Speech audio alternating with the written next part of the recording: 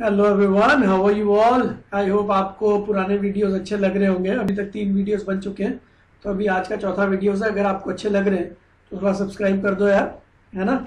और अपने फ्रेंड्स के साथ भी शेयर करो बिकॉज़ काफ़ी इंपॉर्टेंट इन्फॉर्मेशन है, सबको एग्ज़ाम में काम आएगी। ठीक है? चलो, आज का टॉपिक शुरू करते हैं। आज हम लोग एक ट्रिक देखेंगे, जो कि रिड्यूसिंग नेचर के ऊपर है। और इसके ऊपर काफ़ी सारे क्वेश्चन पास्ट ईयर एग्ज़ाम्स में आ चुके हैं। ठीक है? शुरू करते हैं। चलो तो रिड्यूसिंग नेचर के ऊपर क्वेश्चन ये था कि lithium sodium potassium rubidium caesium इन पाँचों को रिड्यूसिंग नेचर के हिसाब से अरेंज करना। इन फैक्ट क्वेश्चन ये था which of the following is the best reducing agent ठीक है? तो उससे पहले तो पहले रिडक्शन की डेफिनेशन देखते हैं। तो तीन से चार कॉन्सेप्ट इसमें मिक्स्ड है। तो पहली बात है सिंपल कॉन्सेप्ट रिडक्शन रिडक्शन क्या होता है? अगर आप किसी को इलेक्ट्रॉन देते हो मतलब अगर मैं इलेक्ट्रॉन ले लेता हूँ तो मेरा रिडक्शन हो जाता है। रिडक्शन मतलब gain of electrons gain of electrons और ऑपोजिट होता है उसका ऑक्सीडेशन ऑक्सीडेशन मतलब लूजिंग इलेक्ट्रॉन्स ठीक है? तो गेन ऑफ़ इलेक्ट्रॉन्स को बोलते हैं रिडक्शन होना। तो मान लो मेरे पास कोई स्पीशी है, जिसका नाम मैंने ए रखा है। ठीक है? अगर आपने देखा कि इसके पास एक इलेक्ट्रॉन आ गया तो मैं बोलूँगा, भाई ए का रिडक्शन हो गया। ठीक है? अब ये इलेक्ट्रॉन किसने दिया? जिसने भी दिया, उसका नाम मैं आर रखता हूँ। तो मेरे पास एक आर नाम का एलिमेंट है। इसने अपना इलेक्ट्रॉन निकाल के ए को दे दिया। तो आर की वजह से ए का रिडक्शन हुआ। तो रिडक्शन तो हुआ ए का? आर की वजह से हुआ तो आर का नाम रख दिया रिड्यूसिंग एजेंट ये बात समझ में आती है? तो रिड्यूसिंग एजेंट कौन होता है? जिसकी वजह से दूसरे का रिडक्शन होता है, ठीक है? और सामने वाले का रिडक्शन करने के बाद ये जो रिड्यूसिंग एजेंट है ना, इसका खुद का ऑक्सीडेशन हो जाता है। मतलब देखो सिंपल बात है, जब रिएक्शन हो रही है तो अगर सामने वाले का रिडक्शन हो रहा है तो आपका ऑक्सीडेशन हो रहा है। अगर आपका ऑक्सीडेशन हो रहा है तो सामने वाले का रिडक्शन हो रहा है। तो वैसे वर्षा चलता, ठीक है? तो ये जो पाँचों लोग हैं ना, ये लोग रिड्यूसिंग एजेंट्स हैं। ये लोग सामने वाले को रिड्यूस कर देते हैं। तो अब सवाल ये है कि इन पाँचों में सबसे अच्छा कौन है? ठीक है, ये क्वेश्चन है, ये आईआईटी में, नीट में, हर जगह पे आ चुका है।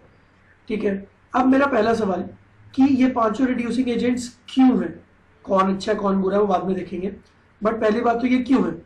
तो देखो जी, इनकी कॉन्फ़िगरेशन जैसे अगर मैं लिथियम की कॉन्फ़िगरेशन देखूँ तो one S two two S one अगर मैं सोडियम की कॉन्फ़िगरेशन देखूँ one S two two S two two P six three S one अच्छा अगर किसी को कॉन्फ़िगरेशन नहीं आती तो इसके ऊपर भी एक सेपरेट वीडियो बनाऊँगा मैं डोंट वरी ठीक है?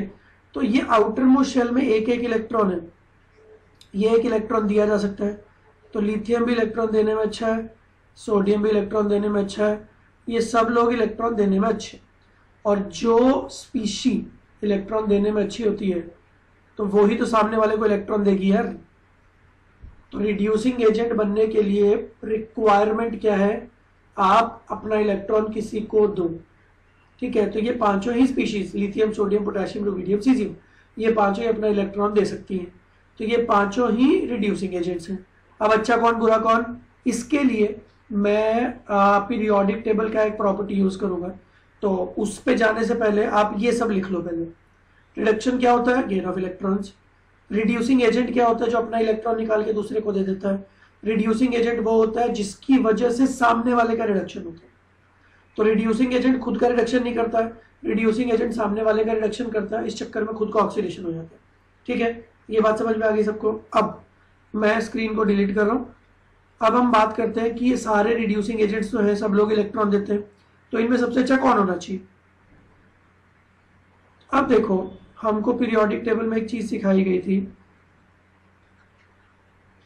As we go down the group size increases lithium का साइज़ बहुत छोटा सा है, जबकि सीजियम का साइज़ बहुत बड़ा सा है। ठीक है? अब साइज़ बड़ा होने से क्या होता है, देखो, ये जो बीच में न्यूक्लियस होता है ना और आउटर मोस्ट इलेक्ट्रॉन इन दोनों के बीच में डिस्टेंसेस बढ़ जाते हैं। जबकि लिथियम में न्यूक्लियस और आउटर मोस्ट इलेक्ट्रॉन के बीच के डिस्टेंसेस कम है। तो अब आप एक चीज़ इमेजिन करो सीजियम के केस में मोर डिस्टेंसेस होने की वजह से force of attraction is less force of attraction is less जबकि लिथियम में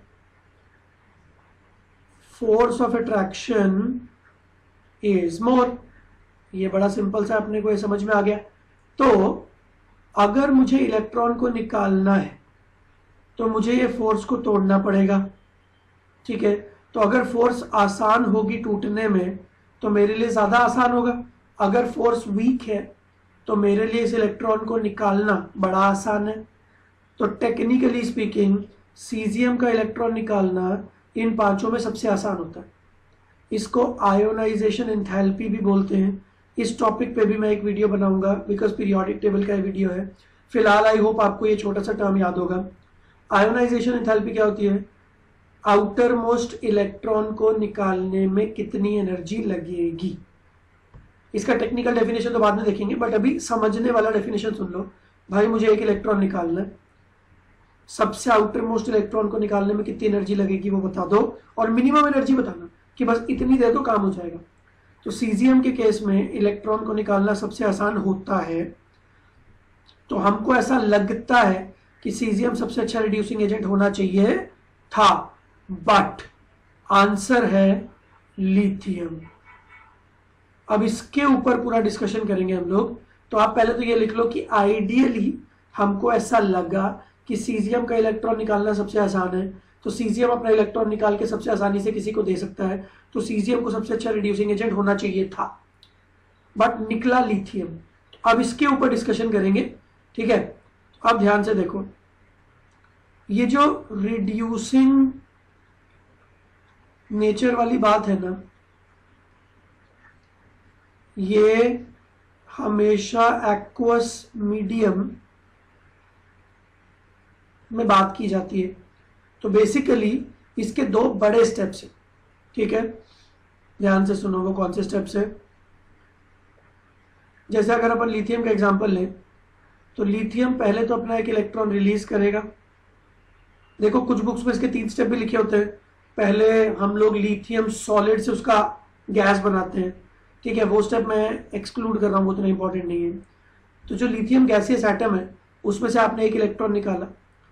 और फिर ये जो लिथियम प्लस है ना, ये वाटर के साथ हाइड्रेशन करता है। हाइड्रेशन मैंने लास्ट टॉपिक में कवर किया था लास्ट वीडियो में।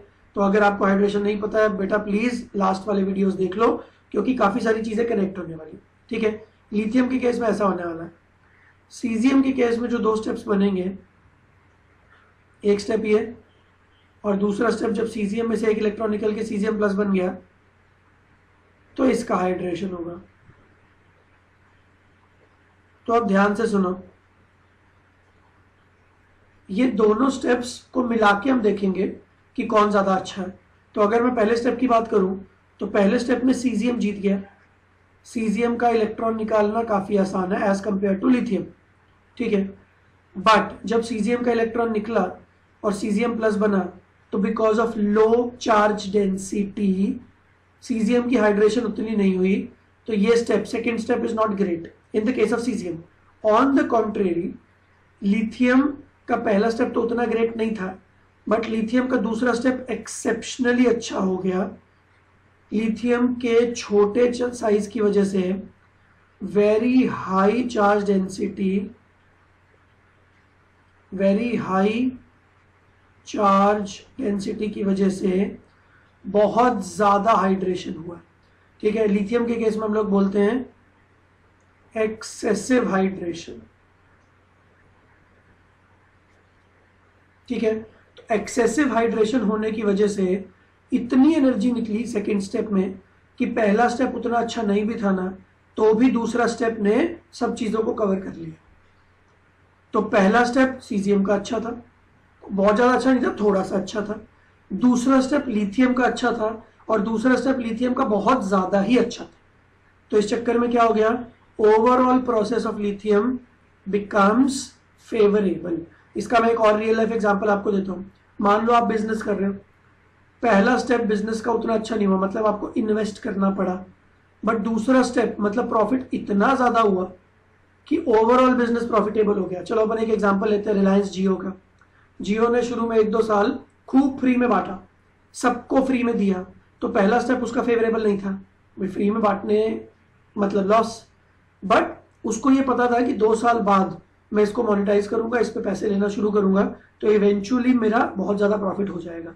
तो मल्टीपल स्टेप्स अगर किसी प्रोसेस में हो तो पहला स्टेप अगर वीक हो भी ना तो भी अगर दूसरा स्टेप बहुत स्ट्रांग हो, बहुत ही अच्छा हो हाईली एक्सोथर्मिक तो काम हो जाता है।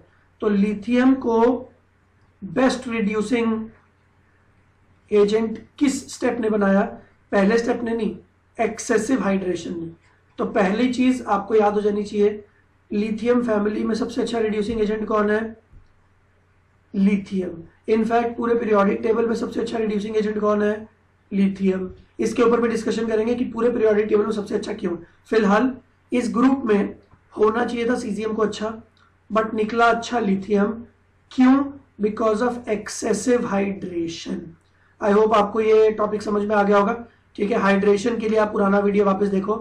तो ये बहुत इंपॉर्टेंट क्वेश्चन है। आईआईटी और नीट। दोनों में ये क्वेश्चन आ चुका है। तो इसको अच्छे से याद कर लो। और बेटा, जैसे मैं हर वीडियो में बोलता हूँ प्लीज़ नोट्स बनाओ। आई होप आपको ये वीडियोस पसंद आ रहे होंगे। चलिए, आज के लिए इतना ही। अभी नेक्स्ट वीडियो लेके मैं एक बहुत ही ज़बरदस्त कॉन्सेप्ट लेके वापस आता हूँ। ठीक है? चलो थैंक यू